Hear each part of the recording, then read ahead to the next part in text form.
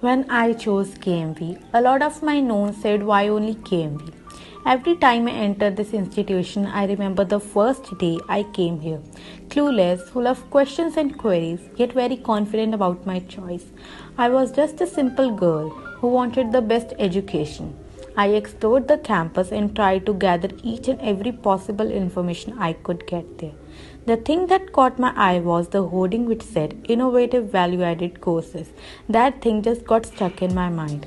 Further roamed and explored the college bit more.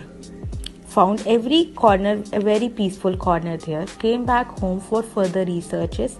Internet also showed the best qualities of this ranked number one and autonomous college. Going through the website, I decided to meet the seniors and teachers and know their personal experience about the courses.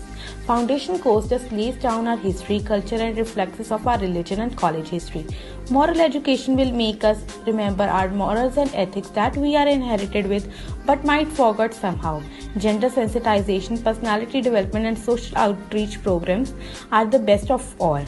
Job readiness, innovation, entrepreneurship course are the most beneficial courses will make us ready for our opportunity out there.